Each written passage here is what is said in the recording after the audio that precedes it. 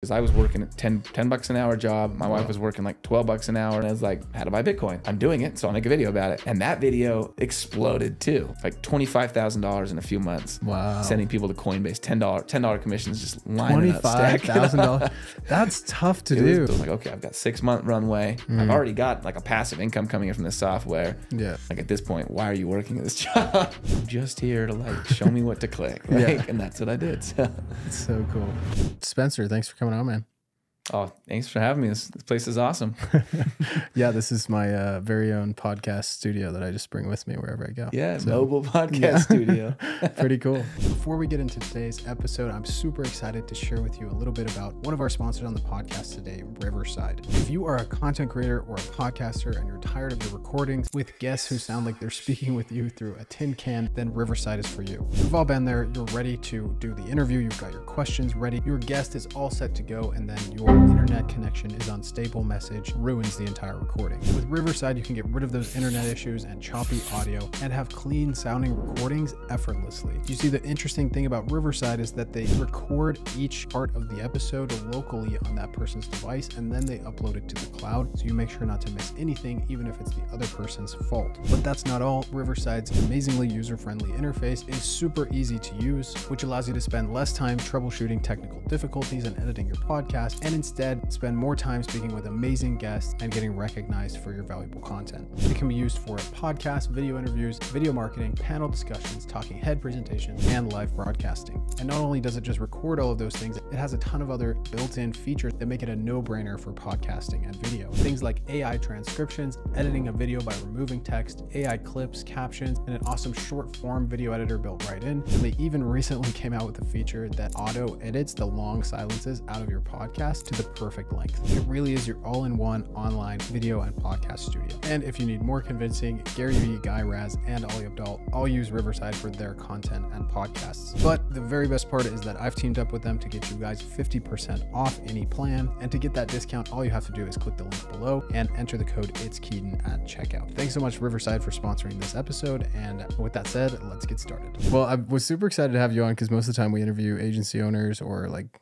people using high level from a SaaS perspective, but you um, not only have a long history in the internet marketing space, but you've done it in a a way that most people would be super interested in doing, which is like kind of the solopreneur model where one person business, like that's all the rage right now.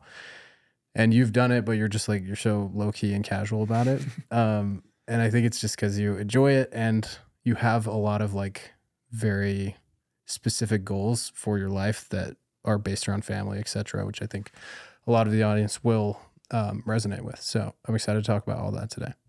yeah, let's. uh That you described me well. That's me. So uh, let's go back to uh, college. I think you bought your first home or was like a duplex, right? Was that your first like financial freedom move? Um, it's my first smart financial freedom. so uh, yeah, my my my beginning just just probably a year before that was reading Rich Dad Poor Dad, and Okay. and that was the mindset change, right? Um, so even, I think a lot of people read that, and there's not most of what you read doesn't apply technically, right? Like what you're not going to do what he's doing, um, what Robert Kiyosaki's doing, but um, the book, if you haven't had the mindset shift yet, that book will do that so well for you. So that shifted my mindset and got me looking all over real estate stocks. Uh, you know, looked into crypto. Probably should have bought a little back then, but didn't have any money. And uh, and in the end, I, I bought that. We started to get into that real estate and starting into stocks. Those were kind of the two that I was doing. And so, uh, the story I always tell is, I had ten thousand dollars saved up. Me and my wife together. We went to go get ready to buy this duplex because um, it's really smart to buy a duplex while you're in college.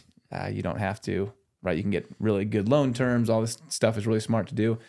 And we took that ten thousand dollar down payment, and it was like a thirty day, forty five day window before we closed. Right? We knew we had the house, we had everything, we had the money sitting there, and I'm reading books, and um, these stock market books are like showing me these like you know jump in, jump out in like three days and make money, and I'm like that is what you do, and I've never had money to actually even try this before. So I'm like, I got fifteen thousand dollars sitting in my bank account, right? I'm gonna try it.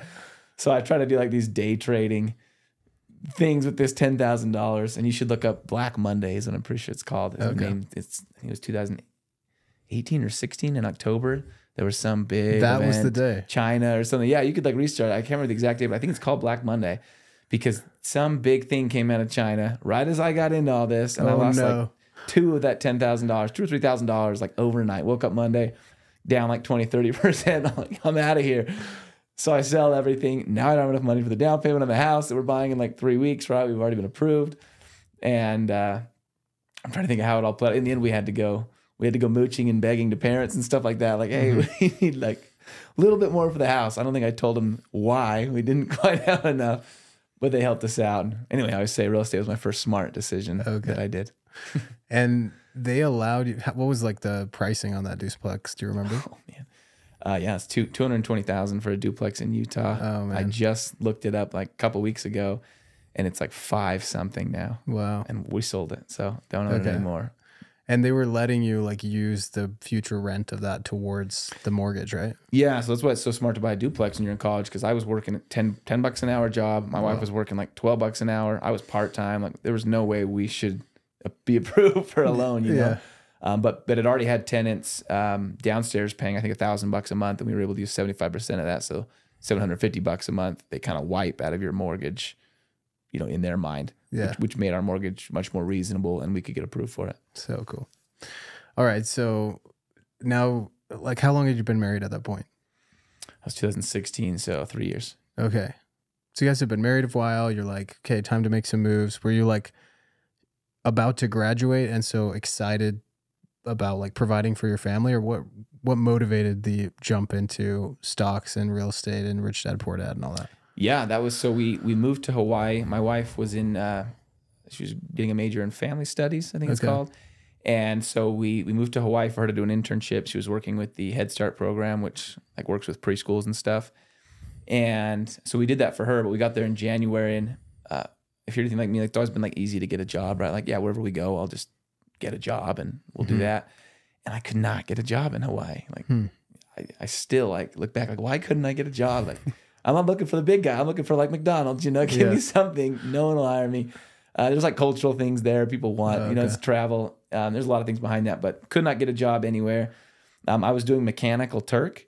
You've ever hired that? Um, you do these like tiny, insanely boring tasks for like three cents, right? Like I need someone to do this 700 times to like Google search this and type and like whatever word pops up first or something, you know, type that in this Excel sheet. So I'm just doing that. I'm making like six bucks an hour in like the most dreary work you could imagine. And that was a Hawaiian employer. You just found it online. that was just found online. Yeah, it's called Amazon Mechanical Turk. It still exists. Wow. I wouldn't recommend it. All right, there's a, about 10 million better ways to make money. Uh, but I was like feeling like I was doing something, and then uh, kind of in the middle of that uh, is when I was like, okay, like I can make some money online. But there's got to be better ways. Um, and I was reading Rich Dad Poor Dad on the beach every day. I'd go read like an hour or two of Rich Dad Poor Dad on a beach, and and that was that was when it all was like okay.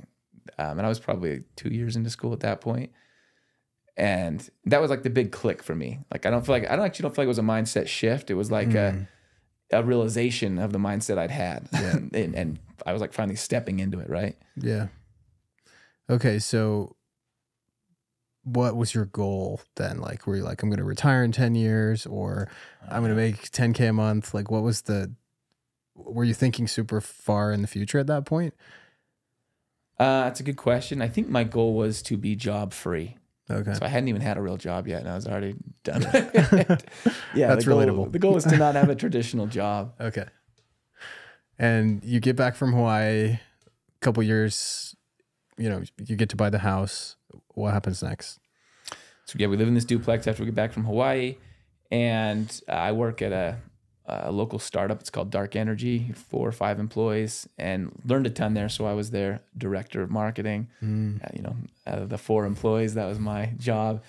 And uh, maybe that's why the bank was able to give me a loan. You know, oh, he's a director of marketing. this guy's legit. Uh, but did that part time, and, and just that's when I like learned just tons about marketing. Right, you're the only marketing guy there, so I'm learning. You know, I'm running our blog, YouTube channels, Twitter, visual stuff, like just everything, websites, and uh, just getting through school. And got done with school and started at a at an SEO agency, so called 97th Floor. That's actually only a couple miles from here. Um, and that was when I really was like, okay, I got to get a now I really don't want a nine to five job. like, Yeah. no, I quickly realized what that entailed, and, and they're an awesome company. Like it just was me not fitting in, not not this company or their Yeah. culture or anything. Um, they also give what's called what, what do they call it? Hundred percent free time or free time off PTO. Oh yeah, yeah. They have a word for it now, but but there was. Free time. yeah, Tell me you've never had a job Yeah. without telling me you've never had a job. been a while since I was in that world. But essentially, you could have a you know PTO as much as you want. You take Yeah. as much as you want. And so that would that gave me a taste of it too. Like wow, like we went to Thailand for like ten days. No one even asked questions. You know, I don't have to Wow. like okay, can I take my two weeks or whatever? That's ahead of their time. it was yeah. this that's like more common ago. today, but yeah, crazy. And so that was, and I'd, I'd leave at like three thirty every day, or just like whenever I want. You just get up and leave. Really cool culture, um, but it bad for me or good for me because it let me taste what freedom was, and Mm-hmm. I was like, oh, I really want this. Uh, so I started blogging. We, we were doing blogs for other people, and just a few months into that, I was like, I can do a, a blog, right? I know a ton now about blogging, and um, so I started to run my own blog, and that was kind of my turn into uh, my own like a, a side hustle entrepreneur stuff. Mhm. And the blog was about affiliate marketing or side hustles or No, I was so good at stock trading at that point, Oh, okay, obviously, of that I did a blog about stock trading. little did we know you were a fake stock trading guru I, before. so I, I figured I'd lost four grand. I could now teach people. Um, no, I was just into the stock market. I like liked the idea of it, you know, and so Uh-huh. I made a blog about. Uh, it's called beginningstocktrader.com. okay. I'm going to teach beginners how to get started in the stock market. Totally unqualified. We all do this, right? like when we first go out there and start a blog or start something, we're like not qualified for it, but Hey guys, just jumping in here to give you a quick word on our sponsor High Level before we get back to the interview. If you don't know already, High Level is the top sales and marketing solution for any business, but particularly agency owners or anybody that needs a software product to resell to their existing customer base. It has everything you need to capture, nurture, and close leads for marketing clients. And the best part is High Level believes in not taxing the agencies on its platform so you can get unlimited clients for one low flat monthly fee. The best features include a CRM, funnel, website and email builders, course hosting platform, robust marketing automation builder, a consolidated chat stream with WhatsApp, email, SMS, Instagram DMs, and Facebook DMs, reputation management, social media posting, tracking and analytics, and so much more. And as if that wasn't enough, High Level is fully white labeled, meaning that you can take the platform and put your own brand on the desktop and mobile app and resell it to your industry for whatever price you want. Essentially, what High Level has done is brought the bar for starting a software company way lower so normal people like you and I can help our clients with an amazingly robust software without paying hundreds of thousands of dollars in development costs. I am not kidding when I say hands down, High Level is my favorite software of all time and has been integral to my success with my agency. It helped me increase my clients' results and retention, and I use it every single day for my own business. And if you sign up for High Level today, not only will you get a 30 day free trial, which is not available on their website, but you'll get all of the bonuses listed at itskeaton.com forward slash mastermind, which gets you support, templates, and courses to kickstart your high level journey and get those first few clients or scale to your next few clients. If you're already a high level customer, you can also get all of those bonuses by upgrading to the next highest plan underneath my link. Instructions for that are also at itskeaton.com forward slash mastermind. Uh, so yeah, beginningstocktrader.com. I, I did Instagram. I did a YouTube channel, uh, and little little like niblets of success along the way, but nothing big. Okay. And you had like affiliate links or how were you monetizing it? AdSense? Yeah. So initially the blog, I, I put a ton of time into that blog. So my wife worked evenings and I worked days, Wow. and so I'd come home at three. I'd see her for like an hour, and then she'd be gone, and I'm like six hours, right? Mhm. And so I I worked that whole year. I'd work probably four or five hours a day on that blog, thousand hours probably on it, and put out hundreds of blog posts, handwritten. And I think I probably made 500 bucks off affiliate links, Tried A few of those, like I think best stock trading books, I think was the one that I actually finally managed to rank for. Made a couple bucks a day off that. And then uh, let me think. Uh, so yeah, the real success there came when I started uh, an Instagram slash YouTube channel. So I was like, okay, blogging. I was warned it was hard, but blogging's really hard. Like it's still really hard. Like you got to work forever for nothing to really start seeing anything. And uh, so I, I got on Instagram, and that was back when I don't know. Maybe you maybe you tried this back when you first started. It's uh, follow and follow. Yeah, You follow and unfollow people. so Oh, you yeah. go, you use these bots, you follow like 50,000 channels, And then some of them looking like, who's this guy? And they follow you back, and then you go and unfollow all of them like a jerk, right? Yeah. I got all these followers. so I watched a YouTube video. It said, do that. That's what I did, right? And uh, I got some followers, and then I had this little like, I would send them like a welcome message. Hey, thanks for following me. You should check out this little mini course, right? And the mini course was just like, I made three YouTube videos that kind of helped you set up your stock trading account, uh, learn like the really basics and stuff like that, and and kind of pointed you in some affiliate links in other directions. And uh, so I was doing that, and my Instagram account got shut down, as it should have been. Right, like it's pretty easy to see what's going on on Instagram's end. Yeah. Like I'm so sneaky. Like, yeah. Uh, so Instagram account got shut down. We had a baby, and you could call that my like low moment. I wouldn't call. I wasn't like devastated, but it was just like, oh, this sucks. I'm out. You know, like life's busy. I'm done. and then like a few months later, I uh, we have this baby, and I'm I'm getting I start getting these emails for commissions. Like, Oh wow. my blog's taking off. And I go look and like, no, your blog's not taking off. I'm like, my Instagram's taking off. No, my Instagram's not taking off. You know, I'm like, where am I getting money from? And uh, this is like funny. This is like story of my entrepreneurship journey. I feel like is like the accidental wins are always my Yeah. wins are always on accident. Mm. My YouTube channel had uh, that I had uploaded those three videos that I was kind of spamming people with from Instagram to YouTube, and one of those videos was taking off Wow. uh, wasn't even planning on it, right? But it, but that's that was YouTube, especially back then, and it was a lot easier. And so, uh, YouTube video was getting like eight thousand views a day or something, Wow. and and uh, and actually making me money. And it was, I can't even remember something very big. It was like how to get started in the stock market, or stock market terms, or best stock brokers. I can't remember one of those Is it three. still online? um, yeah, it should be. The, the channel has changed now, but you can go find the first three or four videos on that channel. That's the Wealth Hacks channel. Wealth Hacks channel. Wow. Look Yeah. at that. Humble beginnings. humble beginnings yeah and that was when i was I, I turned pretty hard to youtube at that point because it was like tried so hard failed tried so hard failed didn't try won you know kind of like this yes. and i do a lot more youtube now Okay. That's so cool. So the commissions coming in were they like significant money? It was like a thousand a month or yeah it was um it, it- the the chart kind of looks straight up and straight down like a giant mountain so Mm. Thousand bucks. It was like more than a thousand bucks, but just for like a month or two, and then the video died. Um, I'm I'm trying to remember. It was yeah, it was like eighty dollar commissions. That was why I picked the stock market world because you make when you send someone to a stockbroker, they know they're going to make a lot of money off that person. You make a lot of money in turn. So yeah, I made I made really good for a few months on that on that channel. cool. And then was it recently or pretty quickly after that that you found the ClickFunnels world and started promoting them?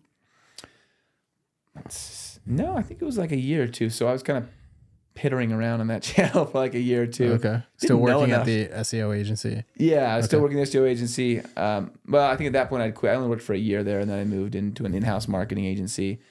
Um, and I, yeah, still kind of like bummed with it all. It's still kind of like now that I've seen some success trying out YouTube videos, and I'm trying to remember.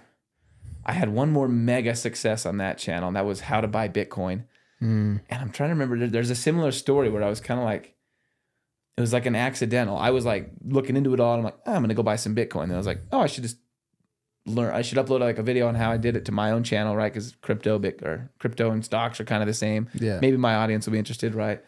Because I put up five videos so far. That's I have Yeah, an audience. Your right? audience is like My audience- 50 subscribers. They all love me and know me. yeah.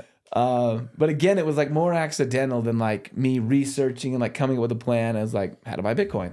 I'm doing it, so I'll make a video about it. And that video exploded too, like Hmm. uh, way more than than that other one. Um, like twenty five thousand dollars in a few months. Wow. Sending people to Coinbase, ten dollar ten dollar commissions, just lining Twenty up, five thousand dollars. That's tough to It do. big money. That's tough on that level of commission. It happened. So now I know the timeline here. You might remember when Bitcoin like had a huge spike four or five years ago, Mm. right around Thanksgiving time. Everyone's like talking about it. Thanksgiving. Um, I ranked for how to buy Bitcoin on YouTube and Google. My YouTube video ranked for like six months, and that's where, where it all came from. Wow. Um, but it was like, I mean, serious money, especially for someone in my situation, right? Yeah, that's crazy. Um, so another another accidental win for me, and that video probably took you like 20 minutes. A straight screen share. Again, that's still on there. You can go watch it, and it's just like I'm gonna show you how to buy Bitcoin, right? like slow talking. Oh man, it's bad. I don't know why it ranked. I mean, it ranked. Tons of people were making videos like that, right? Like, Yeah. Even today, I look back, I'm like, I don't get it, but Yeah. sweet. Just uh, catches the algorithm. Something about not like not being overproduced sometimes, I feel like. I think it is, especially for tutorial type mm, channels, right? Yeah. like when someone like jumps in your face and like hyped up, and you're like, I'm just here to like show me what to click, like, Yeah. and that's what I did. So It's so cool. Okay, so you you have that success and then you're like doubling down on stocks at that point or how did you get into the internet marketing world eventually? yeah, so I, I told you I worked in house at a marketing agency, and they wanted to uh, try out ClickFunnels, and so they said, Okay. um, let, us look at It this. was in ClickFunnels another software. marketing agency or you're working in marketing? Sorry to say agency. I'm working in house at a marketing. I'm doing marketing at a. It's was like, like a a- 3D software modeling company. Yeah, Again, I'm the okay. director of marketing. Yeah. Six employees. These are the guys that spent like 200,000 on Google Yeah. ads without a single Yeah, we'll return. talk about that. um, so I'm doing in-house marketing, and they're like, "We we want to try out ClickFunnels. Can you figure it out?" I'm like, "Yeah, I'll figure it out." So I'm kind of testing, playing around with ClickFunnels, and uh, Russell Brunson, who's the CEO of ClickFunnels, is launching his new book right about that same time called Expert Secrets, and uh, so they start sending me these emails about like, "Did you know that you can make commissions?" And I was like, "Oh, I've like dabbled in affiliate marketing and like had some miniature successes," and and so I. Uh, on the side, I'm like, I'm gonna start, I'm gonna try to make some YouTube videos about this expert secrets book and stuff. And uh, somehow, again, I start a new channel because it doesn't make sense anymore to be like, hey, you guys like Bitcoin? You should read this book about marketing. I was like, okay, I got to start something new here. So that's where the Buildapreneur channel comes in. Okay. Uh, you know, it's like two in the morning and you're in you're in a domain name registrar like entrepreneur.com. No. Entrepreneur build up Spencer. No. Like, oh man. And so Buildapreneur was like the 93rd option. And All right. at that point you're like, yes, go. Now you're stuck with and it. now I'm stuck with it. Yep. Been with it ever since. But uh made that channel and I, I did really well with that expert secrets launch. Again, like, why am I doing so well with this? Um, just some videos about it. And um, it's kind of a fun story because I Expert Secrets is, is doing their thing, and I start to see my name on like the top twenty for that launch, top twenty affiliate promoters, and and uh, just from some YouTube videos and stuff. And so then I kind of like, wow, the winner gets to go to ClickFunnels headquarters. They get to meet um, Entrepreneur on Fire, JLD, uh, John Lee, John Lee Dumas. yeah, it rings a bell. Before my Anyway, time. big guy, big guy. He runs a podcast, Entrepreneur on Fire, huge podcast. I'm like, Okay, this is yeah. cool. Um, and so I start just like telling everybody, like fam- family and friends, like you gotta buy this book. Go click this link, buy the book. I'll reimburse you, right? So ClickFunnels or ClickFunnels is paying out ten dollar commissions for anyone that bought the book. Uh-huh. The book was nine dollars, so I'm like, go buy this book for nine dollars. I'll give you a ten dollar bill. Greatest day of your life, right? You earn a dollar. So I'm going around all over just telling people to do that, and I end up in the top ten. And you did it. You like stood outside the Oh, like, yeah. basketball arena, right? uh, the the Marriott School of Business at BYU, yeah, so a, a local college. Yeah. Like, hey, here's a ten dollar bill. Oh, I think at that point they were offering twenty. They were doing like a last two day push, and it's like twenty dollars per person that buys the book. And I was like, it's an eight dollar book. so I'd like sitting out there like twenty dollar bills. Buy this book, and I'll give you this twenty dollar bill. Desperate. Or were you doing any? one of the two. You, oh, so you made a couple videos, but most of your promotion was like grassroots, like this. no, no, this was just kind of like the final like Okay. push because they're they're they're doing like the final like top ten go on, you know, and I'm like, well, I got nothing left in the tank, you know, like, Mm-hmm. I don't have an audience, I don't have anything. So that was kind of like my just try to push me over the edge. Did you take off work, or you just like you told your wife like Um, I'm done with work, but I'm Saturday. okay. I might have taken off work. I can't, I can't remember how how I ended up doing that. It was only for one day. It wasn't like it's not like I'm Okay. out there every day with a sign, you know. Yeah, it's like just kind of like thinking of different things to Yeah. to get 30 or 40 more signups. But I did. I mean, I got everyone in my office, you know, twenty dollar bills. Buy this book. Buy this book. And um, so that was my first big win on the Buildapreneur channel, and kind of like suddenly people knew my name. It was Hmm. like, oh wow, he was in the top ten. Who is this guy? And um, I think that helped a lot moving forward from that, having some name out there, Okay. So you, what were you like one or two? like nine or ten. Okay. All right. I think it was Tony Robbins and John Lee Dumas at number one and two. Okay. Different world. got it. Got it. And you, this like scrappy kid. Yeah. yeah. And I'm like, seriously the most random human being. And everyone's like, who are you? I am nobody. um, okay. So then you get to go see Entrepreneur on Fire, and you meet Russell and all them. Uh, yeah. Met Russell and, and kind of, I think I, I think I made pretty good commissions off that too. Even after all the payouts, I think I made decent money. Cool. And then you were like, software is is the game here, right? Yeah, it kind of like it's like these like these moments, right? Like rekindle your flame. I think it had fizzled a little, and I was putting out a movie a month or every couple months on my other channel, and I was like, yes, I win, and like a huge, and it was just really cool to be around all those people, right? Entrepreneur on Fire at the time is making, I think he was said he was making like a hundred grand a month with ClickFunnels commissions alone, and that's his side hustle, right? Like he's doing his podcast and he's telling people about ClickFunnels on the side sometimes, hmm. like, and he's making a hundred grand a month, and so just being in the room with people a world that I'd never even like come close to, right? Never. Hmm. It was all just hustles for me and kind of playing around. And these guys are making real, real, real money, right? They've got like own their own businesses and stuff. And so um, it was eye opening that wow, you can build something quite real just having an audience. Hmm.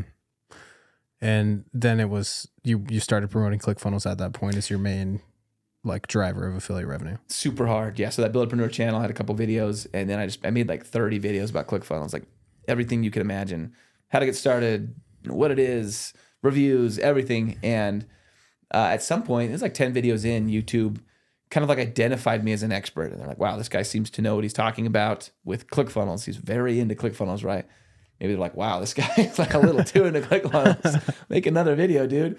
Um, but made like 30 videos and started to get like good commissions at that point. Um, So probably six months of that got me to five thousand dollars a month with just Nice. YouTube on ClickFunnels, and and that was the point. I was just saving up the money, and and that was kind of the point where it was like, oh, I can quit my job. I'm, I'm making the same amount, and I'd been saving up my money, so I had like forty, fifty thousand dollars just sitting there, and it felt. I'm super conservative, and so I was like, okay, I've got six month runway. I've already got like a passive income coming in from this software. Yeah. Like at this point, why are you working at this job? Yeah. I don't know. So luckily, my wife was down, and we left. Nice. Uh, it's their fault for getting you on ClickFunnels in the first place. That's what I say to all the jobs. Like, don't teach me so many good skills and stuff. Like, this is on you. yeah, that's awesome. And this whole time is your wife like like you come to her with the twenty five thousand dollars in Coinbase commissions, and you're like, look at this. She's just like, cool, like, or she's super excited.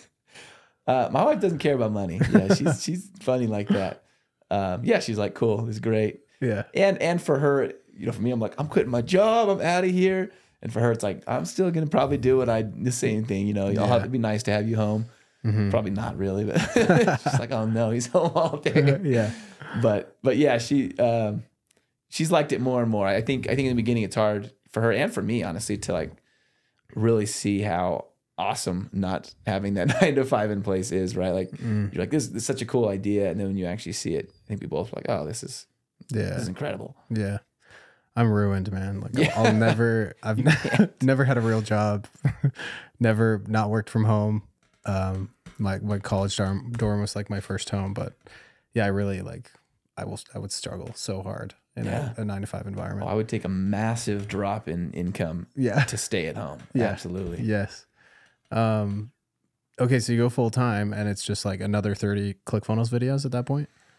Uh, maybe a few more. Somewhere in there, I start kind of like branching out uh, by sole reason of I'm out of ideas. right? Yeah. uh, and and so things start to kind of roll. Like it's kind of nice, right? Like you you when you're into this kind of stuff, you have wins, you have little wins, blah blah blah, and then eventually you get momentum. And right there, it probably was the momentum point where um, when I got on that Expert Secrets leaderboard, people are starting to come to me, and I'm starting to um, get a, a little bit of a name for myself. And so that's when I think I launched my first course um, on on affiliate marketing. Just like here's what I'm doing, right? Small. It was a pitiful course, I'm sure. like Nine ninety seven. it was like no, no, sixty-seven. Oh, okay. sixty-seven dollars. All right. And the nice thing is they got that was affiliate secrets 1.0. I called it, and I said you get unlimited updates. Hmm. And it, so as I continue to release bigger and bigger courses, they've all those original buyers got you know, the 1497, the the 1997 course. They all got those updates. So the people that believed in me in the beginning, Good uh, investment. I'm sure they were disappointed on that first round, but it got better. Um, yeah. So and then I just started to kind of, I, I did like ClickFunnels, like online business kind of stuff, right? Like how to run Facebook ads, kind of that that little world, and uh, and then eventually ran out again. And at that point, I switched my whole like online persona from I'm teaching you how to market, which is what I was doing when I was pushing ClickFunnels, right? I was teaching business owners how to do SEO, how to use ClickFunnels in their business, make funnels, run ads. And I switched because now everyone was following me to learn affiliate marketing. It felt like not that. Yeah. And so I switched my channel, I switched my branding, everything was like affiliate marketing. And that's when Buildapreneur logo before was like two blue squares and Ooh. just something classy. I think I hired a Okay. designer and I was like, I want classy. I'm in the business niche, right? It's, it's like The light- business niche. I love that. it's this color actually. Yeah, it's like yeah. light blue Okay. and just really boring and like and I was like affiliate marketing is much more like it's solopreneurs, it's people that want to enjoy life and be exciting, right? Mm-hmm. And uh, MMO, make money online. It's it's just a more fun world. So that's when we switched to the me sitting in a hammock and I kind of built my branding around a guy in a hammock, which was much more fun. Much Cool. more fun to talk about and make videos Yeah. about. Love it. Um, and then you had some pretty. You you got up to like being the top ClickFunnels affiliate of all Oh. time, or one of the top. Um, I was the top of all time at my time. Okay. I'm sure I've been beat now, but at one point in Yeah. history, Cool. And what did that feel like? Like you were. What was the the highest month, if you can say? um, yeah, I mean, I had like a hundred and fifty thousand dollar month somewhere in there. Wow. I mean, to be in full disclosure, we we were doing um, paid ads as well. So at some point, as I started to grow with the YouTube, I started to reinvest and put that into paid ads and expand. So I think I made one hundred fifty thousand dollars one month, but I spent the entire one hundred fifty thousand dollars on ads or something close wow. to that. Okay. Yeah, it was a really a really big. I mean, there was a period where I was just dumping money back in there, right? Like grow, grow, grow. This is great. At some point, I won't be able to do this anymore, and so Mhm. um, at, at some point the ads turned off, and we were able to kind of enjoy that money again. Okay. Cool. So like your highest profit month. Highest profit month was probably still in the the hundreds, so hundred Cool. something. Nice. And then it just kind of like has slowly went down. Yeah, as I, as I moved into teaching more affiliate marketing, I talked Mm-hmm. less and less about ClickFunnels. Uh, ran you know, my my paid ads stopped for the most part, and um and so yeah, it kind of started to fizzle. Okay. um, and what is your framework for affiliate marketing? Like, what's what's the five minute or less pitch for somebody who's you know relatively savvy online but wants to get into the affiliate world? Yeah, I mean, affiliate marketing in the end is just about having an audience, right? Like, if it doesn't matter how you do it, you build up an audience, and you build up access to a large number of people, and and you can make money. I would say it's kind of like part of like it should be part of a bigger picture. You can make courses, you can do whatever you want, but it's really just having influence over a large number of people. And so, for me, affiliate marketing is working backwards. Um, there's two pieces. There's a conversion system, which is where you uh, you capture emails and you create a way to make money off those emails, right? Um, in, in my case, an automated way if possible, um, but basically some system that basically monetizes your audience, and then it's got the the audience building side of affiliate marketing, and that's uh, for me creating content, right? That's the free way. So TikTok, Instagram, YouTube, whatever it is, you put out content uh, that that attracts a certain kind of person uh, that you're going for, and then you send the people that watch your content and enjoy it and vibe with it and vibe with you, right? You send them to your conversion system, and your conversion system kind of captures them and makes them. Um, it gives you access to them for forever as long as you can hold their trust and and things like that, and uh, you make money. For me, pretty passively if your conversion system is built in the right way uh, from then on out. And uh, all I really did for years as an affiliate was after I created my conversion system, I just made content all day. That's like the only thing I did. I was just a content creator. Everything else was in place, so I could just spend 99% of my time putting out YouTube videos, TikTok videos, things like that. And the conversion system is basically just emails, right? Yeah, so um, super simple lead magnet. You find something that that everyone who's watching your type of video is looking for, uh, some hole in their life, right? You create some small lead magnet around that. You capture emails. If I did it again, I would capture phone numbers too. If I'm being honest, that's kind of one of my big, I think, mistakes looking back. Um, but but capturing that email or phone number access to them, and then um, it's just a mix of automated emails that sell them things, and then I'll do once every couple months uh, a full launch, something whether I'm either promoting someone's product that's doing a product launch, like Tony Robbins um, is doing something big in the next few weeks um, with Mastermind.com. So something big where I'll push that, or I'll just have uh, in the in between just kind of automated emails going out saying, if you're interested in blogging, right, this it's a side hustle that works. Here's the best blogging training out there. If you're interested in this, and I'll kind of just move them through it. I see. Um, and um, no, I forgot what I was going to ask. Uh, Asking questions is the hard part. Answering them, I just have to say whatever comes to my head. um, yeah, I can't remember now. Okay, so do you find that your list ever gets confused? Like you're promoting so many different things. Maybe they're opting into like a side hustle list, and so it makes sense that you're talking about a lot of different things. But have you noticed that, or because I, I that was a big concern of mine for a long time, and then I just sort of realized like everybody's on a little bit different path, and you never know what's going to land with whom. Is that the way you look at it, or Yeah, it, at one point it got messy where it's like, why are you talking about this, right? Like Mhm. you're that's not who you are, right?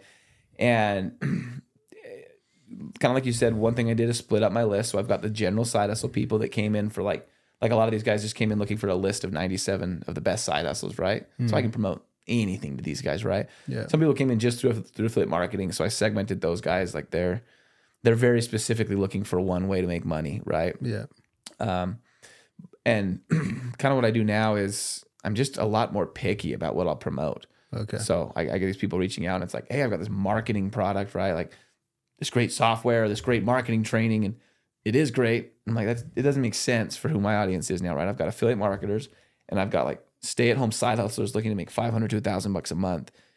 Your training's great. It's not going to work with either of these guys, and you Yeah. kind of learn that the hard way. Like you you put out this huge blast to like 50,000 people, and you get one sale, and you're like yeah, okay that wasn't worth all that effort you know for that one sale yeah. I had one when I was running my agency, like really recently into it, maybe like eight months.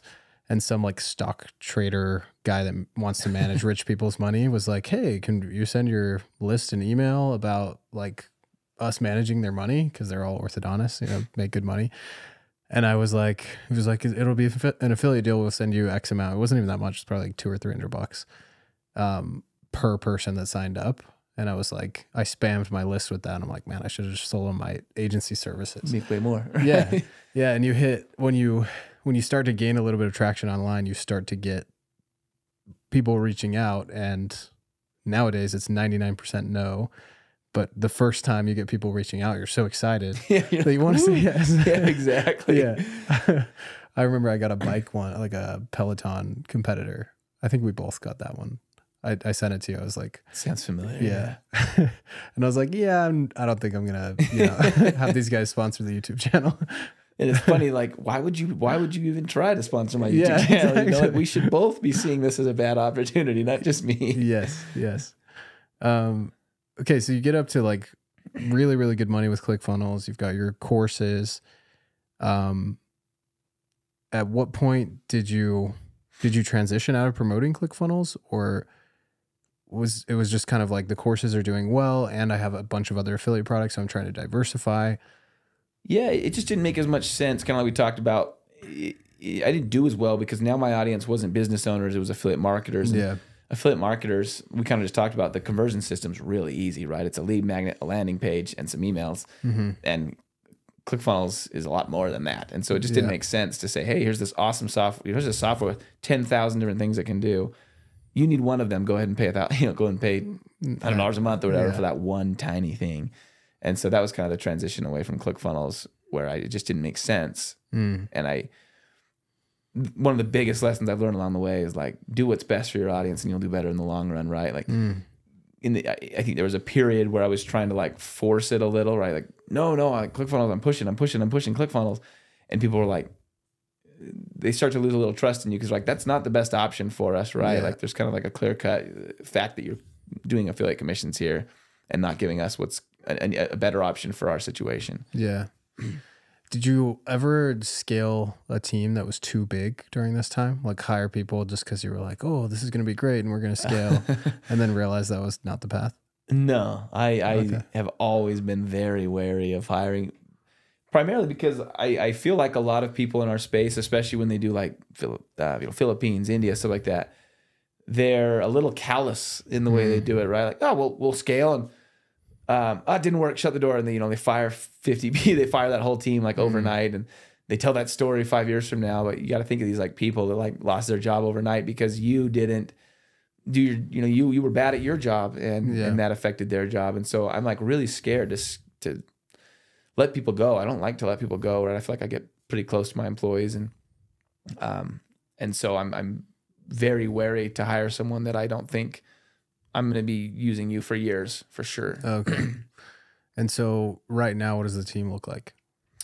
I've got like a general VA, and she can do everything. So she's awesome. Had had to really hunt to find her, but she can do emails, she can do video editing, she can do web design, graphic design. Like Wow. she is awesome.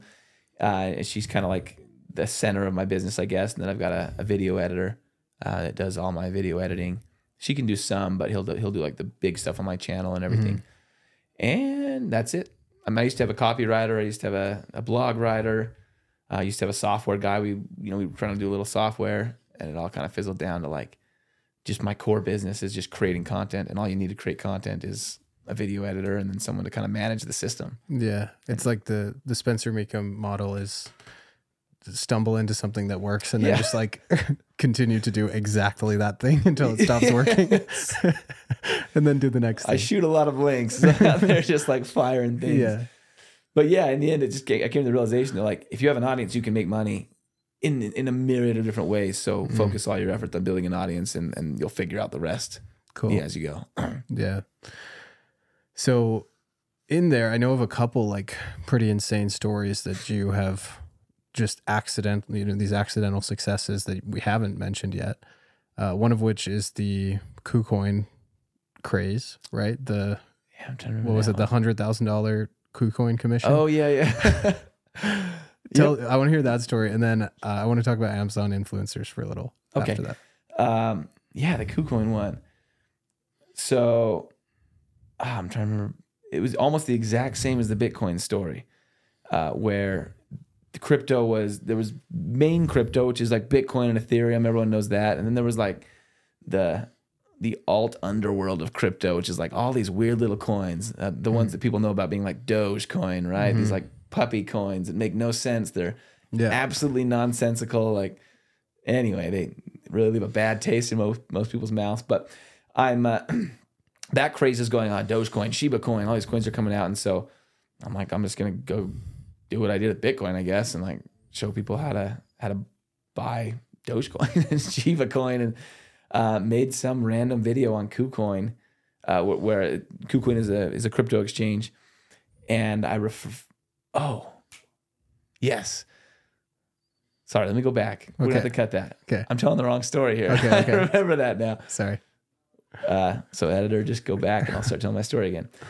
Yeah. So the story with KuCoin is I was I was sending people uh, to this uh, crypto exchange called KuCoin, and you the way KuCoin's affiliate program works is you make a small percentage of everything that you send them. So um, if I send a person to KuCoin and that person you know trades ten thousand dollars, well KuCoin will probably make five hundred dollars off of that, and I'll make two hundred uh, of, of that that total. And so um, I love percentage models because the sky's the limit, right? Um, so email marketing, if you're looking for a place to go, email marketing is a great start because you you pay based on how big your list is, which means you can have insane commissions coming of thousands of dollars in a month from one person. But anyway, so I'm, I'm sending people to KuCoin. I'm making like hundred dollars a month, two hundred dollars a month, just little little bits as I'm making these videos, and I'm telling people to go to KuCoin and sign up, and that's how they can buy Dogecoin and Shiba Coin and all these random coins that no one knows about. and uh, but again, it's a percentage model, so you make a small percent of everything that KuCoin makes off of that person forever Wow. um, which is still small, right? Like KuCoin's making one percent of their trading fees. You're making half of what KuCoin makes, so it's like eh, whatever. Uh, and then one day I wake up and uh, I, I go to log into KuCoin and it shows a forty-two thousand dollar commission, and I'm like going around like, is this a mistake? Like pull the money out quick.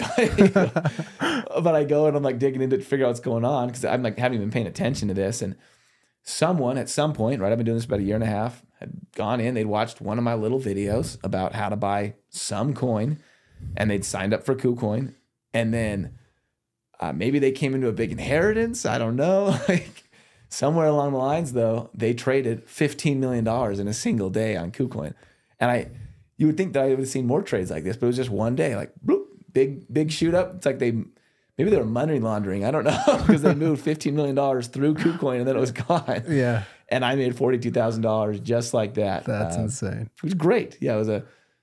Yeah, it's just insane, right? That, it's kind of the fun thing about affiliate marketing and just online business in general is like the highs and the lows. The highs Yeah. can be just nuts, right? You're just like out of nowhere, just massive wins. hmm Yeah, it's, it's funny because the the being just having a YouTube video out there on whatever will give you the weirdest, like most random Yeah. opportunities because Yeah. everybody uses YouTube.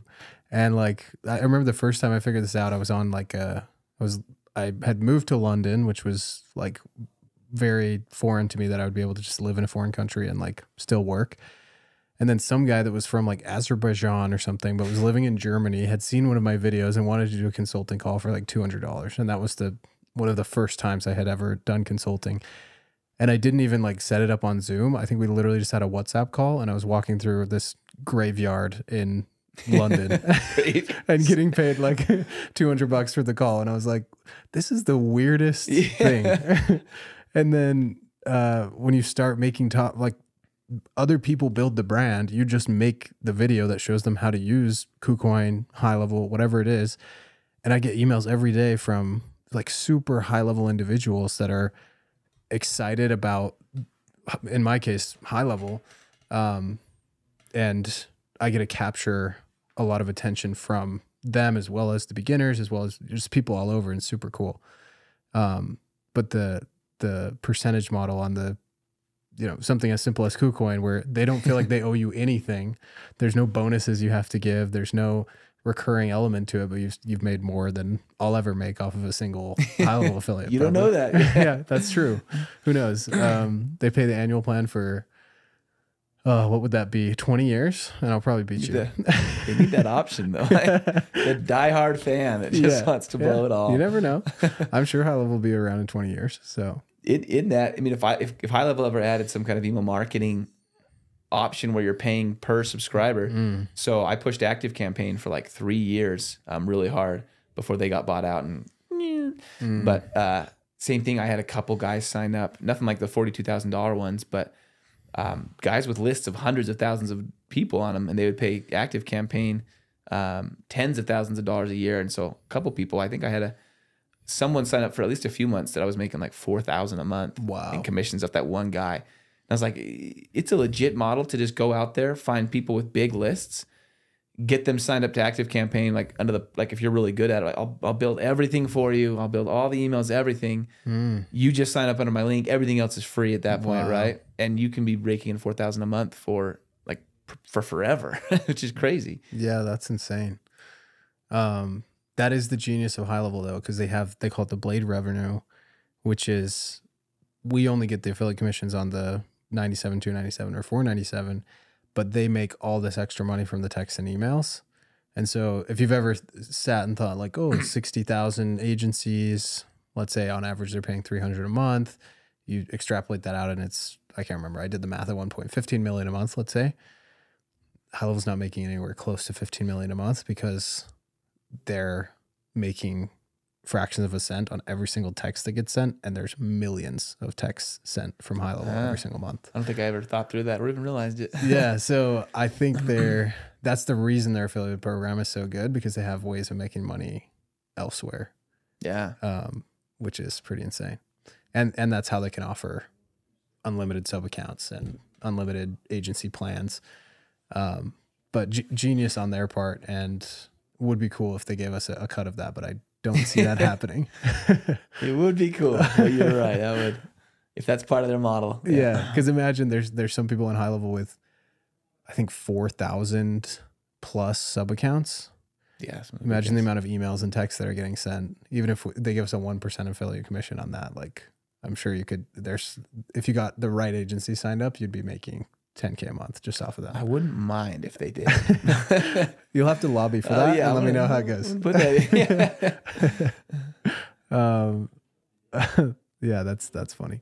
So that's a huge win that you've had. But another one that has been pretty insane is the Amazon influencer program, right? Yeah. Um, I hit so if you create content, you should all be familiar with burnout, right? You you put out videos and then it's just like, oh, what am I going to talk about today? And so I was hitting a burnout phase, and I got uh, I just put a post in a Facebook group um, that I that I own. Said, "Who's got cool ways to make money?" Um, I'm I'm out. And a guy, uh, his name's John. He's like, I I got a cool way. Hit me up in DMs, and I hit him up in DMs, and he shows me. It's called the Amazon Influencer Program, and uh, really really simple uh, business model where.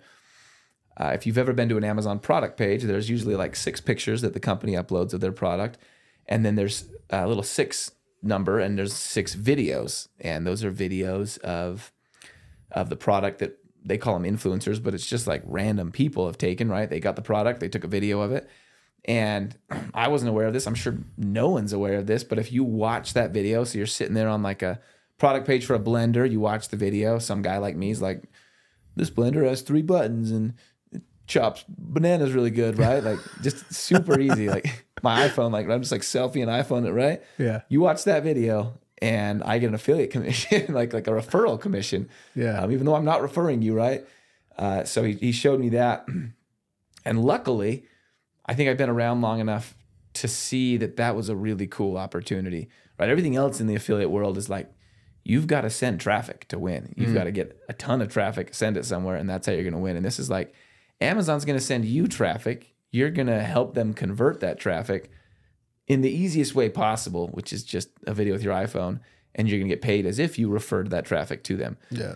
And so I, I tried that out for like three months, and it was like five dollars the first month, two thousand dollars the next month, like five thousand dollars the next month, uh, and that's like me going around my house just like demoing things, right? Like, like everything, like my mic, right? I have a mic for my YouTube channel. Hey, this is the mic. This is what it sounds like. This is what it looks like. You know, here's the arm of the mic. This goes up and down. Here's my chair. Like I'm literally just walking around, like just talking about things. Get up to multi thousands of dollars a month doing that Yeah. and and then Christmas hits and I I go I go mega nuts again like I'm seeing the opportunity here and so I, I'm like I'm gonna start researching and buying like hot selling products and getting my video on those product pages and I do that in December and like I bought a, bu- I bought like seven Christmas trees I bought a hot tub bought like all the hot selling gifts that year like electric skateboards like Wow. so fun first off. Literally filled a room about this big so i've got a room in my basement 12 by 12 boxes floor to ceiling. Filled the entire room with boxes.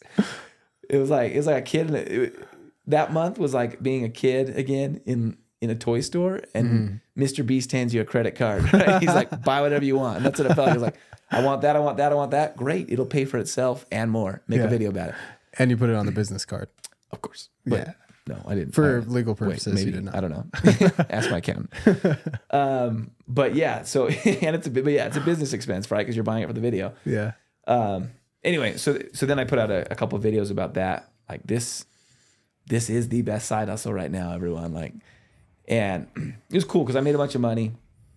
That was cool. It's great. But then I've probably had over a thousand people reach out. Um, that video got maybe a half million views, maybe more. Um, and I've had hundreds, if not thousands, of people reach out since then and say, "I did it. Followed your video. You're right. It was easy." You know, I, I had a just yesterday. A guy was messaging me, paid off one hundred fifty thousand dollars, one hundred fifty thousand dollars in student loan debt, bought a house, like off of Wow. this influencer program, right?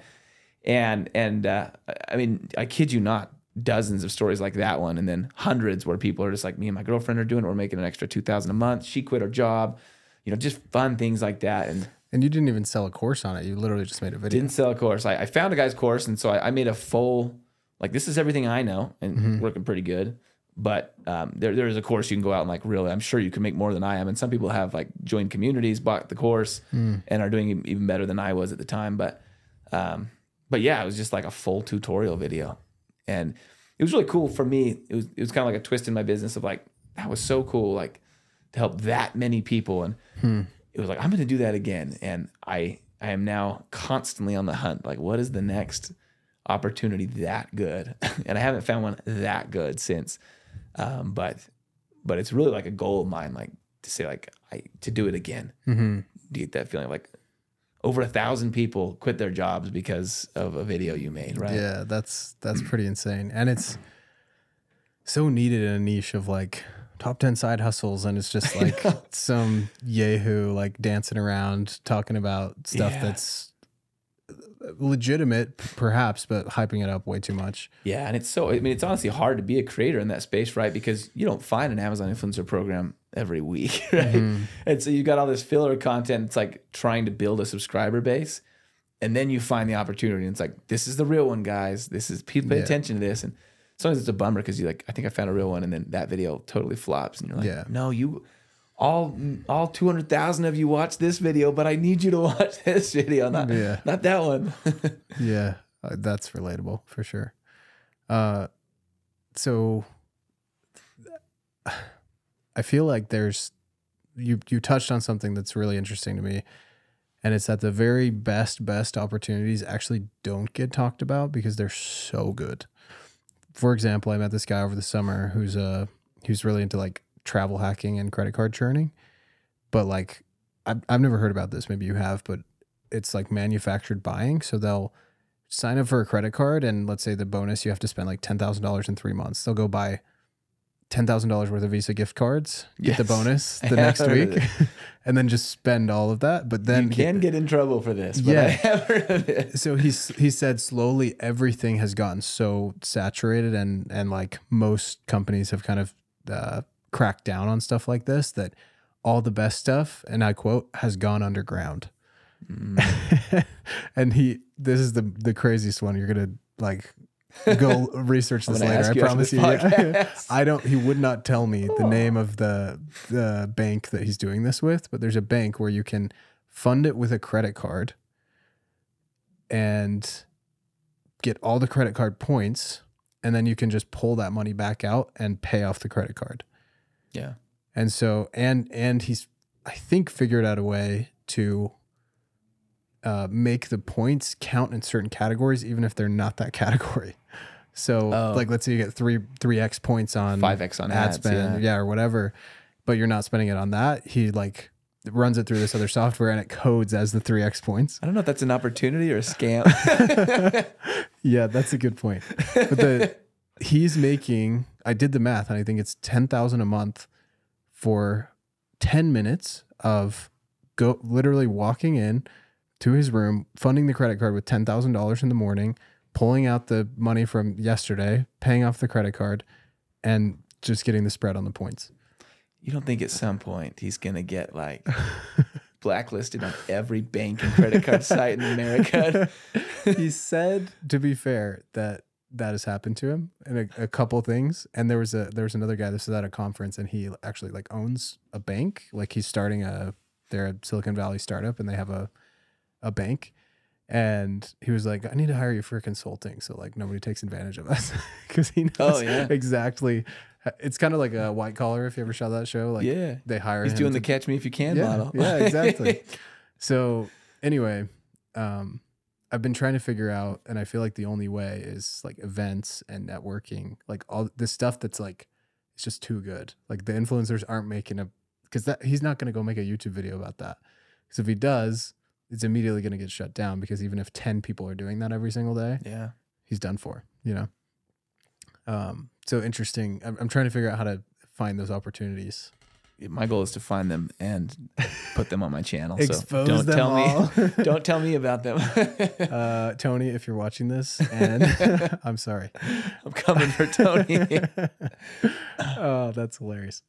Um, so if you were, let's say, beginning and you're trying to to get a a side hustle that is one of these best opportunities, because now the Amazon influencer program was great. It's now kind of become saturated to a degree, correct? to a degree, I would still. I mean, if you are in that in that boat, I would still. Yeah. It's still a great, easy side hustle that Yeah. people can start and make 500 to 1,000 bucks a month. Okay. Way easier than surveys. Okay. Uh, but it's it's harder to get to that 10k, 20k a month. You're not going to hit my 20 grand December probably Okay. again. Yeah. Was that your highest month with that? Yeah, that, that December I was talking about. Yeah, I guess I didn't get the number, huh? So Yeah. all those Christmas trees and all those toys, spent 12 grand, made 20 grand. Okay. But the real crazy thing is it's been residual since then. So Mm. I'm just kind of like, I'll make stuff when I buy it now, but pretty much out of the game. hmm And it's residually three to $7,000 a month Wow. from that like initial surge in December. yeah. And it was fun. Yeah. Uh, like way better than a job. yes, exactly. And and one of those, I think uh, Travis Stevenson made a course about it. And Yeah. all his ads are like, "This isn't a side hustle. This isn't a business. This is literally the easiest thing ever." and he was right. Was Yeah. so easy you didn't have to buy the cars. He's like, "This is the only thing I've gotten my wife to do." Yeah. yeah. I mean, you literally could sit down in 30 minutes and be running. yeah. Okay. Um, and if you want to find out uh, with all of the other amazing opportunities out there, you know where to find Spencer online. Um, he'll be exposing them Yeah. faster than you can. I might have one right now, actually. Oh, I'm, in the middle. I I'm getting into TikTok shops, if you know what that is. Uh huh. Um, I still am figuring out what it is, honestly. It's one of those where like I'm struggling on YouTube because you type in TikTok, make money, and there's like 40 different crappy videos and stuff. But it, you can do it. You can do it as an affiliate or just as almost like a drop shipping thing. But TikTok shops uh, is is a new way where people basically just watch your TikTok video and then there's like a buy now link, and you can do it as an affiliate or you can do it as a Ah, as like your own product. But TikTok is still such an easy way to go viral, right? And uh, so you you make these videos just about products, right? And they, you put them on a oops, sorry, on a TikTok shop, and you can. I'm seeing these people. You know, the video gets 100,000 views, and they get a thousand, fifteen hundred sales, and getting 100,000 views on TikTok just isn't that hard. mm, Um, so TikTok Shops is one that I think is potentially gonna be huge. TikTok in general, honestly, I say this coming from YouTube and someone who doesn't really like TikTok, mhm. even um, like they're making huge moves in the creator space. Like they are, they are doing so much to help creators and try to get creators to focus on TikTok. Um, I think they're gonna, they're gonna, if, if not that, um, they have like the TikTok creativity program. I don't know if you've heard about that. It's a like rev share thing. Rev share. So brands, brands that want to run ads on TikTok, right? They say, why don't you have your users make videos for us? Mm. Uh, so I think I think the big one, I think Airbnb's done it, maybe Uber, one of those big companies has done it. Can you just have like some random TikTok users make a video that would be like a, a UGC right ad for for Uber and it's a rev share. So they spend a million dollars on TikTok ads. I don't know exactly how the algorithm works, but you can make um, I think people that have that have done really well have made forty, fifty thousand dollars in a month because they made a fun video that the Yeah. the company's like, yeah, that's a great ad. We're gonna run paid ad spend to it, and then you're gonna take ten percent of that or whatever. Wow. You know, big brands, big money. What a time to be alive. I know. It's like that cranberry juice guy. Did you see him? Yeah, like, yeah. Yeah. Drinking his juice on a skateboard. yeah. So weird. I think I think he was like homeless before yeah, I don't know if he's homeless. Maybe. or broke. One Yeah, of the that's- two. yeah. But he just like rode around California beaches drinking his cranberry juice. yeah. Made a video, went viral. Got sponsored by the cranberry juice company, right? Yeah. And I think probably in the millions now. Yeah. And all the all the brands are realizing that like being this faceless corporate entity is n- not helping them at all. And so I'm seeing a lot more brands making these like hilarious, Yeah. like meme based content. And and TikTok's kind of like leading that, I think. If I was starting anywhere, it'd be TikTok right now. Hmm. And all the a lot of people are like, China, yum yum yum. And I'm like, yeah, do you want to make money or not? Right? Like, yeah. I remember one of your testimonials on a on like a sales page one time that I read was like Spencer told me to start on TikTok. I didn't want to do any dancing. Yeah, So I just made normal TikTok videos. It works. it does. It does. No, and he had like no dancing in parentheses. Yeah. I mean, no one wants to. Yeah, no one wants to start on TikTok when they first start, and then it- I feel like it's within like a first few videos. I've heard TikTok does it on purpose. I don't know if that's real, Hmm. but a video goes viral, and it's like, Yeah, oh yeah. wow, like I just got a million views. My that that was another one of my wins. We've talked about wins. Um, guy, a mentor told me to do TikTok. I had made one video, so I signed up for TikTok when it first came out because I was in the space. Made one video. It was of my feet. I, I, I think I did my bare feet, and I said, "This is what it looks like when you work from home. This is what your feet look like." Or something. Super dumb. Got like hundred views. It was a terrible video. Got a couple comments from weird foot fetish guys. Yeah. Like, yeah. oh dear. I remember reading that one. I'm like, what? Yeah. what a freaky platform. That's a side hustle you can make a video about. Dude, you could. That's a niche, niche, niche. Yeah, yeah. But uh, then I had a mentor that's like, you should give TikTok another try. I'm like, okay. Go make one more TikTok video, my second TikTok video. And uh, 5 million views, like something crazy. Wow. And again, this time I actually spent 30 minutes looking at what was working and like, okay, I'll kind of follow what they're doing. Mhm. But it, like 5 million views on like an accidental video that I was just like trying to learn TikTok, like how it Yeah. worked, you know? Yeah. Um, and, and a blow up video. I don't think I've ever had another win like that on TikTok, which is really annoying. Yeah, they're yeah. I, I totally believe that they they bait the front end and then Yeah. get you to keep creating content. Um, one more thing I want to talk about. Well, two more actually before we're done here. One, uh, we had lunch a while back, and I had made a very big crypto mistake, and I had lost like not just a hundred thousand dollars, yeah. but like my first one hundred thousand dollars that I had like sk- skimped and I was like, this is the money I have saved. This is what I have to show for the last, you know, three years of my life or however long it took me to save it up. And I remember sitting across the table from you and you're like, so I lost that last five. I done that five times. yes, I am heartless. and I was like, yeah, but was it your first hundred thousand dollars? You were like, it doesn't matter. Just go make more money. Uh, but you've had your fair share of um, crypto losses and other mistakes. oh, yeah. Um, can you share maybe one or two of the worst? um, yeah. Let me let me think. Man, so I, I already shared the stock market one. Mm-hmm. Um, after that, when I tell you stories, like looking back, I sound so dumb. You're like, how is this guy making money or finding any success? He's so dumb. Uh, but this like random guy comes to me. He gets introduced me through someone else. He's like, we're starting a crypto fund in Australia. I have no idea who he is. No idea like if it's legit. He sends me like, here's the paperwork, but we're gonna like invest your money into crypto for you, so you don't have to do all the research. I was like, that sounds nice. He's like, we know what we're doing. Don't worry. And um, so I go to the bank that I, I'm like, I'm wiring this money to this random guy, and Chase Bank. I remember they they actually it was thirty thousand dollars, and it- Mhm. that was like some of my first money. This is a long time ago. Oh wow. And Chase Bank, um, they like call me in. Like I go to do it, and they don't just do it. They like call me in to talk to somebody. Like, what are you sending this for? And I like explain it, and they're like, like we'll send it, but like, are you sure? like, like, do you understand? Like, it, I can't remember the exact conversation, but I remember being annoyed. Like, yeah, it's my money. Like, send my money. And they're like, stuff like this usually doesn't work out. Um, but I sent the 30 grand and that guy traded my money down to a thousand dollars, like loss Wow. after loss after loss after loss. Um, it's like, man, I could have done that, you know. Like, I couldn't have done. I could not have traded worse. like, um, And he, he took a fee, you know, had Yeah, to take yeah. his fee at the gates. he probably still made money. It's probably true. yeah. Um, but did that, and then Wow. Okay, that was like early, early on. that was early, early on. And so you'd think that I'd be like, wow, I better start being careful. But I then I get into this other company. I'm not even gonna say the name of the company because I don't want to get like sued. Yeah. I don't know. But this other company that's like a it was so big in crypto at the time, right? Like five percent a month, ten percent a month, we'll, Mm. we'll pay you. Yeah. Yeah. and yeah. so I get into that company and I put in, I think I had ninety thousand dollars.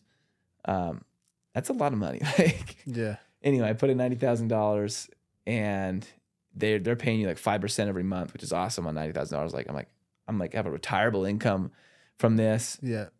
and then you get that email. Like I started, you see like it was like a sign the day before. It was like we're gonna pause withdrawals for a couple hours while we like work on maintenance or something, you know. And you're like, yeah. okay. Then the next day, like, we don't have any more money. and uh, those guys are still, it's like a year and a half later, and they're still claiming, like, oh, we're we're working on it. It's coming. They send out these updates, like, Mm. we're doing this and this and this. And it's like, it's a year and a half, and you still have zero money, like, Yeah. not even a percentage. But anyway, so another 90,000 down the hole in crypto. I still don't know. Like, I tell people to this day, like, I put in a bunch of money in the beginning. I kind of made money, got paid in crypto. I have no idea if I'm profitable on crypto or not in, the, in like the long run. I, I could have lost hundreds of thousands. I could have made hundreds of thousands. It's impossible to know. Like crypto is just so complicated, you know. There's more people that uh, should be willing to admit that. yeah, that's A lot of your crypto influencers are probably in the same boat. Oh yeah, but they know it. they know that they're not profitable. I'm making money from my YouTube channel, losing half of it on crypto, but still making more. oh dear. Um, yeah, learn from our mistakes. Anyone watching this, like, if it, it sounds too good to be true, it is. It, unless it's the Amazon influencer program. I was gonna say, like, I don't actually believe that. I, I actually Okay. don't like that statement. For Sorry. for uh no i want to hear your opinion but for investments i would say like somebody who's like i'm going to take your investment and make Yeah. X amount. I feel like it's ninety nine percent of the time, like you, that should be ignored. Yeah, and I say I and I say too good to be true with a caveat because that should be your mindset. But at the same time, I like really believe there are like little gems out there. And then also a lot of people use that statement it's too good to be true when there's like decent and awesome investments and they just do decent, you know, and like there's really good investments out there, but you're so mm-hmm. focused on your your IRA, mm-hmm. you know, the rich people, that's not what they're doing with theirs. They're doing smart, good investments, not Spencer investments, but like good investments. Right. And so like they say it's when a lot of the, I feel like so many people say it's too good to be true. Anything beyond an IRA or, or Yeah. very, very or simple. nine to five job. Yeah. And like even like buy an Airbnb and how, even like real estate right now, you could still buy real estate. It pays for itself over the next 30 years and you own it in 30 years, right? Like that opportunity is not complicated. It's not a scam. Mm-hmm. It's better than an IRA. Yeah. And and so many people are like, no, like you try to do the numbers for them. No, it doesn't like it, there's got to be a catch. And it's like, not really. Like I own five properties right now on the East Coast and I don't spend any time on them. They all make me one to three hundred dollars a month. They are property managed. I spend maybe ten minutes a year doing the taxes on them, Mm-hmm. and like that's a very real, very simple opportunity Yeah. that when I describe to people, they still say it's too good to be true. Yeah. I remember your um, before we met in person ever, um, watching some of your TikToks, and one of them was like you wearing this beanie with like your that makes your ears come out like this, and then you, it's like smart Spencer and like dumb Oh. Spencer talking to each other, and the smart one's like giving dumb one advice about like side hustles, and the other guy's like, "You think I know how to make a website?" yeah, Like, I don't. You're like, okay, well, probably that. just like go get a job. Then That was a fun video. yeah. Yeah, because we uh, like you. Even though ninety percent of it is too good to be true and is garbage, maybe ninety nine, right? yeah, like you'll never find the gold mine if you don't search, right? The people two two hundred years ago that found gold mines didn't Yeah. like walk into California and just like look around and see a gold mine. They dug and dug and dug and dug. So Mm. you got to yeah, that's great. Good perspective, and that brings me to my next question, which is, uh, you're extremely focused on being jobless, even more so like like never moving. described it that way.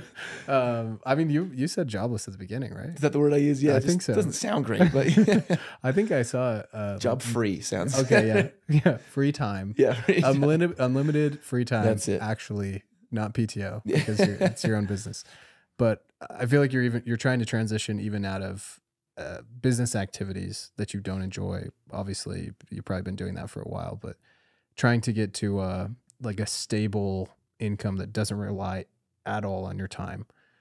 What's your goal there, and how are you going about it? Yeah. So first of all, I believe that I think that ever, that that should be everyone's journey. And if you look at most of the big people, that is their journey, right? You you've got your job or whatever. Starting your own business allows you to make significantly more, right? You're not looking at five percent raises anymore and little investments in your IRA. You know, you, you can do well and really get paid for doing well. And so I feel like this journey of start your own business, take all this extra money, whether from selling your business or from just doing better and making more.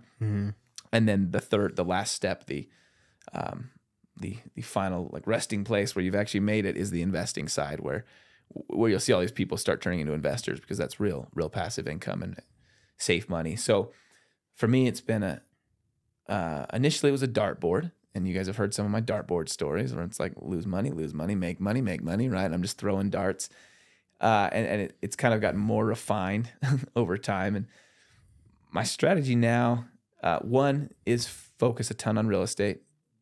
As you, the more you get into real estate, the more you realize just how good it is um, on on every front, on you know, appreciation, on safety of money, um, you know, assets backed, taxes, like everything points to real estate being a smart investment. So I focus a lot on real estate, and um, my most of my real estate investing.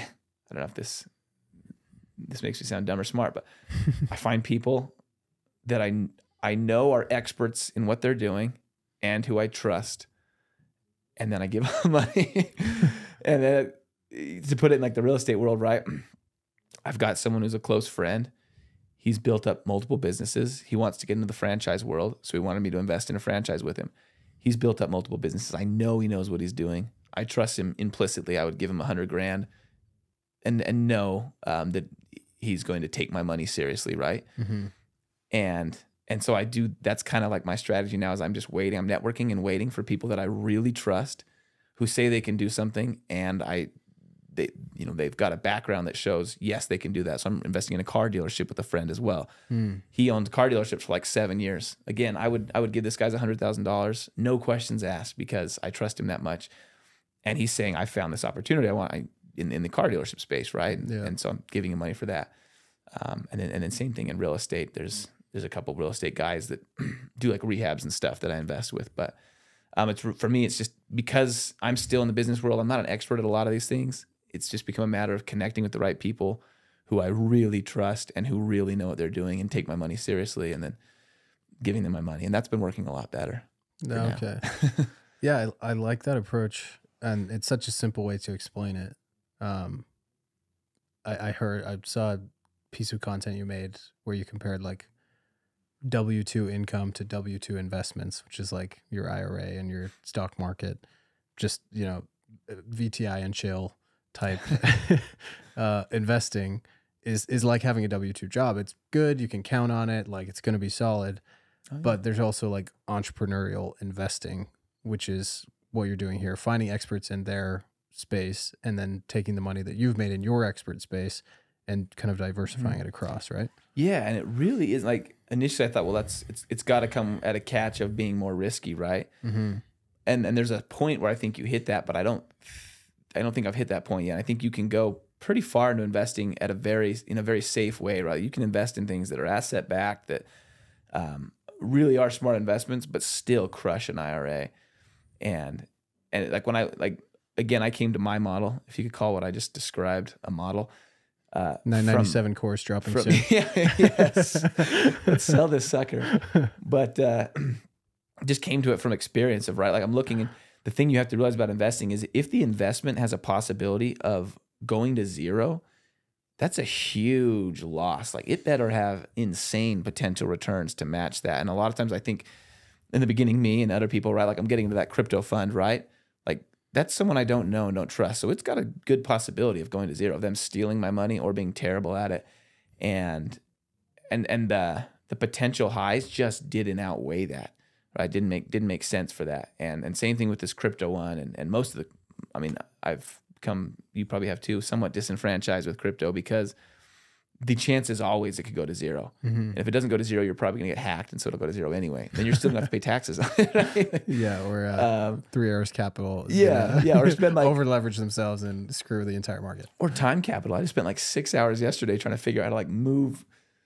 I got all this crypto that I've I've earned money on anyway, and I could not figure out how to sell it. Like liquidity issues and moving it Mhm. around. And Yeah. you're in the U.S., so you got to use VPNs, and it was like six hours of my time just to sell my dang crypto. it's so frustrating. yeah Um, but anyway, um, what was I saying now?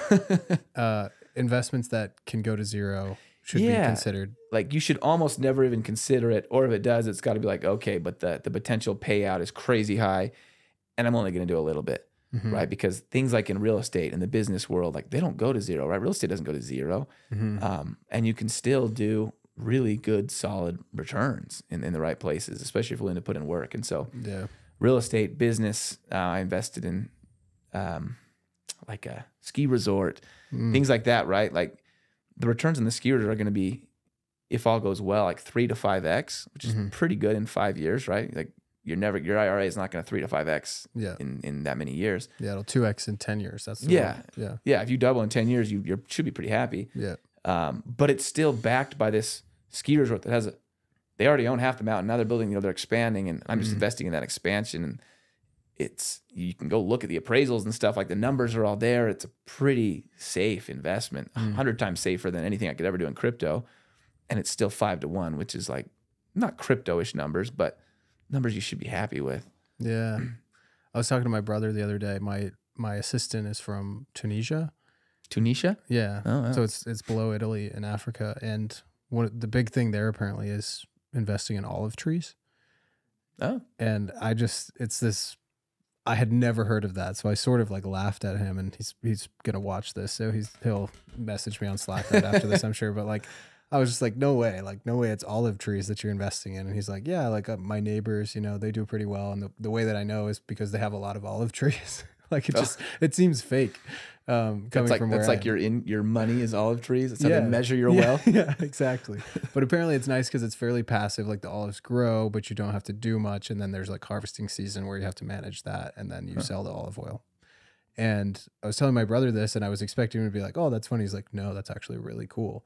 The people I have the most respect for when it comes to investing are people that own natural resources, like land, like real estate, like uh, orchards, things like this, because they're it's actually like generational wealth when you can have a, a plot of land with like things that produce goods that will always be in demand. And I was like, wow, that's actually like super interesting.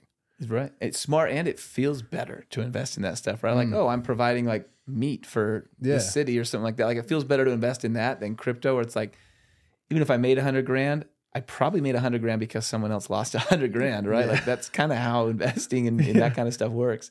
So I spot on. Like it feels better. Like we, we, this ice cream franchise I said we are investing in, Mhm. it just feels better. Like oh, it's a real business that's like providing something, and people are happily going in and getting ice cream. You know, Mm. there's just a little bit different feel to it. Yeah, that's cool. So you you will just basically accumulate cash until one of these opportunities comes across your desk, and then you just do a lump sum I'm ready. Yeah. over a hundred thousand dollars each time, right? Yeah. So I I, I try to like hundred thousand right now is kind of like my amount that I like to do. It's like Mhm. not not an amount that could devastate me, Mm-hmm. but could still do pretty good. Um, and maybe that changes over time, but that's where I'm at right now. And in the beginning, it was like a hole burning in the pocket, right? Like I've got a hundred thousand dollars. Where's a good investment? Where's a good investment? Oh, you've got one. Good. I take my money. You know. Mm. And that that's where a lot of those bad investment choices came in. So now it's just like it's so much better to not lose money it is. Yeah. I'm not sure what I'm saying, but you get the idea. I would Yeah. rather just not lose it than Yeah.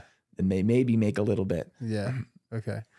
And um what's the goal like let's say you get to 10k, 20k a month and it's you don't have to do anything. You've got random affiliate products that you made videos years ago that are still paying you and those aren't like the way I see affiliate income is like it could disappear at any time, but it's really nice and probably won't. But it's not like it's backed by a- house or or some real estate, Yeah, you know. that's why investments is what I consider the safest one because Yeah. now you've got real backing. Yeah. So like I'm sure you've got you've got passive income from affiliates, but I don't know if you count that.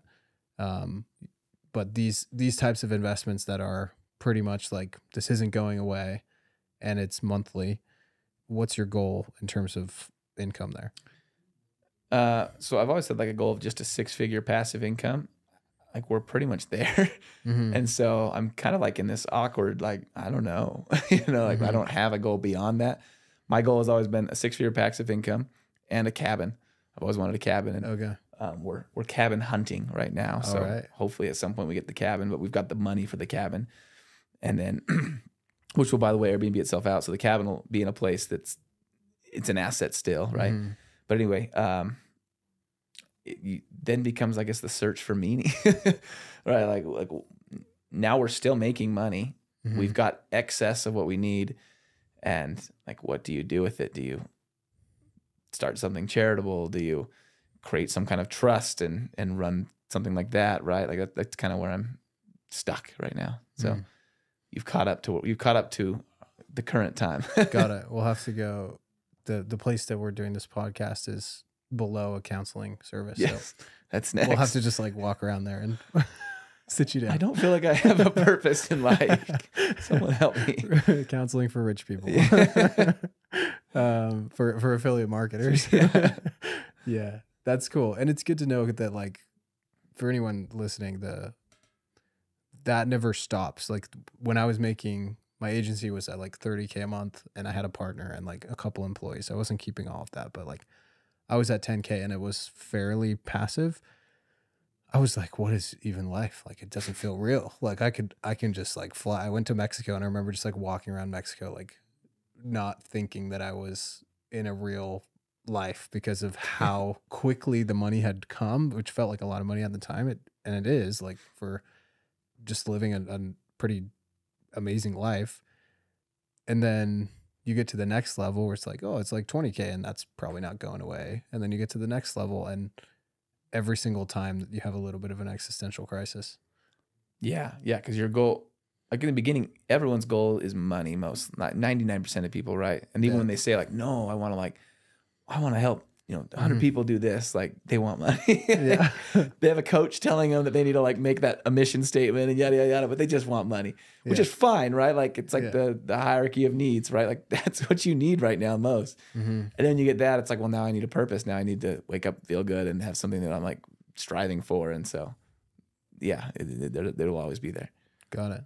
How do you know when you're ready to transition to the investing side?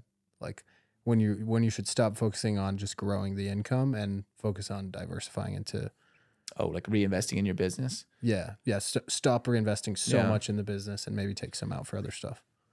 I don't know. For me, f- I think it's just going to be natural, right? Like, don't force the reinvestment into your business. So if you're still seeing opportunities, it's obvious.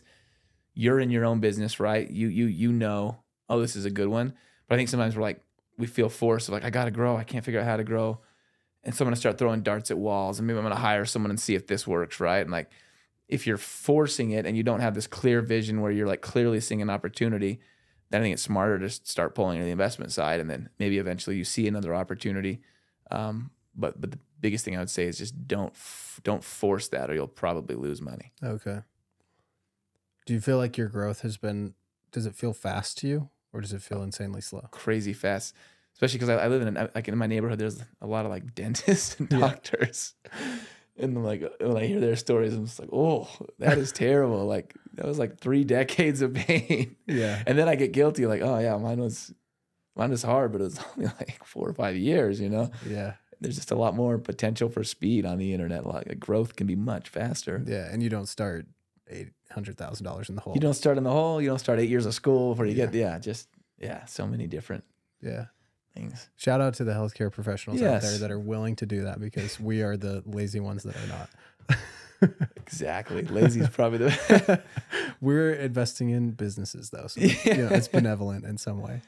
no. But I, I do always say that I, if I had one skill, it's finding easy ways to make money. Mm. to find the easy route in in general in life, it's just like the easiest way to get to a goal. Yeah, it doesn't have to be so hard. No, and that could be a skill. That could be a detriment. I don't know. No, You that's decide. that's cool, and it's a it's it's like what you're saying about the you initial your initial like reaction to it's if it's too sounds too good to be true, it probably is. Was like no, don't do that because you're thinking of all the beginners out there who are gonna shy away from the you know five hundred dollars a month that they could be making on some random YouTube video that they Yeah. make one day because they just think like oh it's it's a waste Yeah. of time I should just go to school for ten years. and I still get scam comments on my Amazon influencer video, right? Which is like, look at the other comments. There's like a thousand people all saying this worked. I'm making money, and and then there's that guy that's like scam. Yeah. And it's like, oh, why did you even watch the video? Like, there is no changing your mind. So why are you looking at this video yeah. just to comment scam? Like, I posted one on my my Facebook this year on my birthday. I got I like woke up to this message on my birthday and it was like, "You sir are a parasite con man to mankind." and my my wife's like, "I don't know how you handle that stuff. Like I'm so like she started an Instagram for her. She's a school teacher and so she was sharing like best, you know, uh, books for kids and got like one hate comment and was like, "I can't handle this." and um I think you just realize like life's kind of what you make of it and you, get out what you put into it and those those people are probably just having a hard time elsewhere and yeah, no, no normal person does that. You know, Yeah. these people that read these like just insanely rude comments. You're like, no one normal in a normal state of mind would just go do that. And so like, there's a problem with you. yeah And I've had I'm the same way. Like I usually ninety percent of the time I laugh them off. I try to leave sarcastic comments. Every once in a while, it's a bad day, having a bad day. I happen to read the comment on my phone while like I'm going through a bad day, and it's just like, get it, get it, get it, get it, get it. you are the worst. yeah. And sometimes I manage to like, no, come on, dude. And then every once in yeah. I post it. And then like the rest of the day, I just feel bad, you know? Mm. Versus if I just left something sarcastic, like, you keep doing that, you know, yeah. whatever works for you. And yeah. I would feel much better if I hadn't. Yeah. Good. Wise words. um, leave us with one last piece of wisdom from your your years online. If somebody's a beginner trying to get started, give us a, a mindset nugget that would help them. Um, yeah, when it comes to mindset, I always feel like there's like two types of people. There's the the people that get stuck in the learning loop, and the people that get stuck in the applying loop. You probably see me talk about this. The people that get stuck in the learning loop are the people that love the idea of all this stuff. I know a lot of people like this, like that are like personal family and friends, right? They love to talk to me about it. They love to watch videos about it, podcasts. This is a podcast, so I, I can say that, but a lot of it's like the podcast only crowd. They just listen to like Mm. all these podcasts while they're doing stuff and uh, they get stuck in that learning loop and they never actually go apply so they've got all this like generalized knowledge Mm-hmm. but it never benefits them at all it's like oh that someday you know and then there's like the applying loop and this is me where i'll go watch like a three minute youtube video be like i'm smart i can do that Yeah. and then i just go like blow money and trying it right hence me losing money a Yeah. lot of times um, where it's just like I want to learn through my own experience, and it takes me a long time, and I lose a lot in that process. Mm. And so if you can find like this nice balance between I'm learning, and as soon as I learn something new, I go try to apply it, and then I go back into the learning, right? And I, the the application is kind of like the cement, the cementing of learning. It's taking that knowledge and making it wisdom, right? Like Mhm. where you actually are internalizing it. Um, so if you can get good at doing that, I feel like you will always succeed. Um, but if you got to figure out what kind of person you are, and then break out of that specific mold and do both. Smart. Thanks, man. This is awesome. That's it. That's the only nugget I have. So. Appreciate it.